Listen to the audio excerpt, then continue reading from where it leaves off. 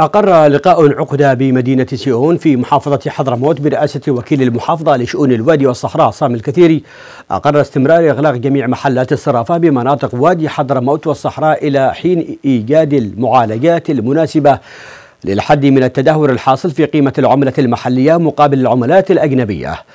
وأوضح الوكيل الكثير بأن القرار أسفر عن ضبط عدد من التجاوزات والمخالفات التي سيتم اتخاذ إجراءات صارمة تجاهها.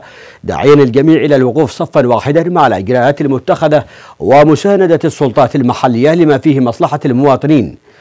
إلى ذلك أقر لقاء آخر ب رئاسة وكيل المحافظة عصام حبريش الكثيري مع عدد من ملاك المخابز بوادي حضرموت أقر دعم السلطة للمخابز بنسبة 50% من المحروقات والدقيق مع إلزامهم بالبيع بالكيلو لضمان توفيرها للمستهلك بأحجامها المعتادة وبأسعار تناسب الجميع.